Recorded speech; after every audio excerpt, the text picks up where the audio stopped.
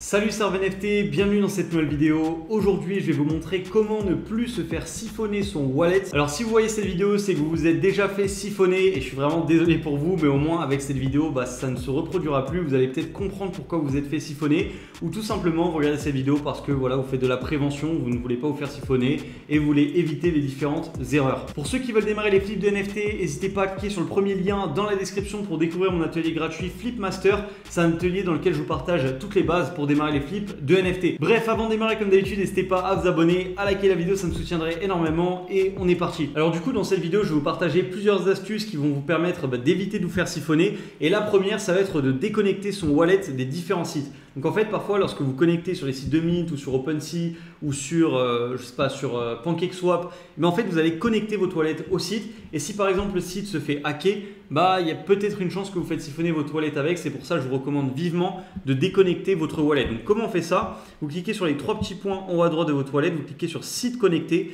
et vous cliquez sur déconnecter. Et ensuite voilà, déconnecter. Et comme ça, euh, bah voilà, vous allez déconnecter votre wallet. Donc là, très important de le faire directement après le mint. Si par exemple bah, il y a un mint, vous êtes connecté, vous ne voulez plus l'être, bah, vous faites directement cette action pour éviter de faire siphonner. Si par exemple, je sais pas, il y a des hackers qui décident de hacker euh, le site au jour du mint, bah, vous limitez les risques en vous déconnectant. La deuxième astuce, toujours au niveau des wallets, lorsque vous faites des free mint ou que vous mintez des projets avec des teams pas doxés, des projets risqués, utilisez un burner wallet. Donc burner wallet, c'est simplement un wallet dans lequel vous allez envoyer juste assez de crypto-monnaies pour couvrir les frais du mint. Euh, et ensuite, ce que vous allez faire, c'est vous renvoyer votre NFT sur votre wallet principal. Euh, je vous recommande d'avoir au moins trois wallets, donc un wallet pour les flips, un burner wallet et euh, un wallet pour stocker vos NFT, vos crypto-monnaies de manière sécurisée. Donc de préférence une ledger. Mais si vous n'avez pas de ledger, vous pouvez au moins faire un troisième MetaMask. Il y a plusieurs façons de créer des burner wallets. J'ai fait d'ailleurs une vidéo qui est dédiée à ce sujet. Je vais vous la mettre sur le petit en haut à droite. Alors la prochaine astuce, qui est d'ailleurs l'astuce qui m'a donné envie de faire cette vidéo, c'est en fait un membre du canal Telegram qui s'est fait siphonner son wallet en se connectant sur un mauvais site. Euh, sûrement lors d'une recherche et c'est du coup ce que je vais vous montrer. Donc en fait, vous voyez qu'il s'est connecté, euh, c'est-à-dire qu'il a dû taper sur Google le nom d'une marketplace, il y a eu une pub, il a cliqué sur la pub. Donc je vais vous montrer tout de suite. Donc imaginons que je vais me connecter à cette marketplace, que d'ailleurs le nom, je n'arrive jamais à prononcer, enfin c'est X2Y2, c'est peut-être un jeu de mots en anglais, mais je ne sais jamais comment ça se prononce. Vous allez voir que j'ai plein de pubs. Et en fait, ces pubs, ce sont des scams. Il ne faut surtout pas cliquer sur ces pubs, donc faites très attention. Cliquez toujours sur le bon lien qui est celui-ci avec le point yo à la fin. Alors la prochaine astuce pour ne pas se faire siphonner, c'est de toujours passer par les liens officiels. Donc sur Discord en général, dans les, bah, dans les différents serveurs Discord, vous allez avoir un onglet official links pour tous les liens officiels. Et vous allez toujours passer par ces liens. Il ne faut jamais cliquer sur les liens dans le chat général. Souvent, il y a des gens qui envoient euh, des liens scam, surtout lors du mint, quand il y a pas mal de confusion. Euh, ils envoient des, liens dans le chat général, ce qui fait que les gens vont cliquer.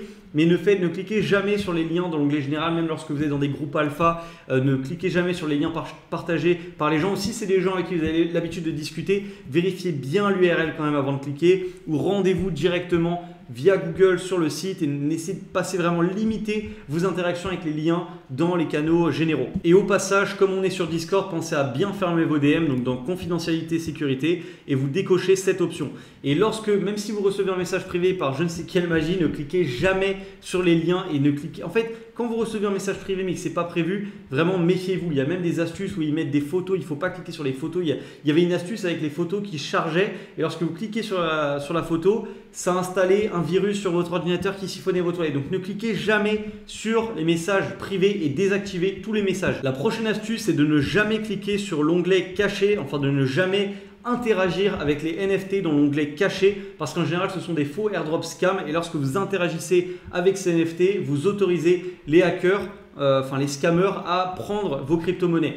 Pareil sur PancakeSwap, il faut faire très attention avec euh, enfin, les, signatures que vous faites sur PancakeSwap. Parfois, il y a des scam coins et lorsque vous, même quand vous validez euh, la transaction, la signature sur PancakeSwap, vous pouvez vous faire siphonner votre wallet et tous vos autres profils sur le même MetaMask. Vous voyez, vous pouvez ajouter euh, des profils sur le même MetaMask, bah, quand vous validez sur PancakeSwap, ça peut vous arriver de vous faire siphonner tous vos comptes. Donc faites très attention lorsque vous signez. Euh, assurez-vous que c'est toujours euh, des gens de confiance, enfin des projets de confiance.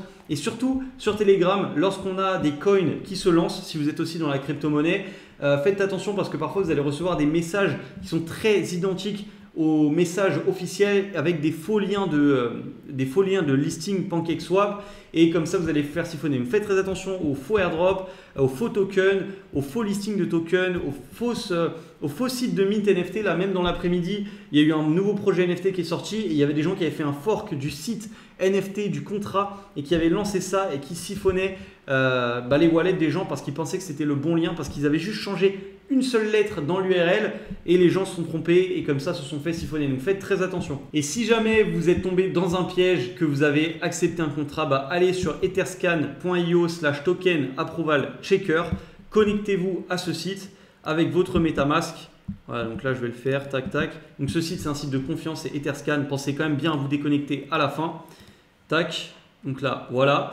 Et ensuite, vous allez euh, révoquer, cliquer sur révoquer juste ici, payer les gas fees. Et comme ça, ça va bloquer les interactions euh, faites par euh, les scammers vers votre wallet. Ça va les empêcher de siphonner votre wallet. Par contre, comme j'ai dit dans une précédente vidéo, si vous siphonnez tout, je trouve c'est un peu bizarre, mais c'est impossible du coup de payer les gas fees, donc autant changer de wallet. Donc c'est pour ça qu'il faut vraiment être très rapide. Si vous vous rendez compte que vous avez fait une erreur, dépêchez-vous de révoquer avant qu'il ne soit trop tard. Pour ceux qui veulent aller plus loin, n'hésitez pas à cliquer sur le premier lien dans la description pour découvrir mon atelier gratuit Flipmaster. En attendant, c'est déjà la fin de cette vidéo. J'espère qu'elle vous a plu, qu'elle vous a été utile. Si c'est le cas, n'hésitez pas à vous abonner, à liker la vidéo, ça me soutiendrait énormément. Et puis moi, je vous dis à très vite dans la prochaine.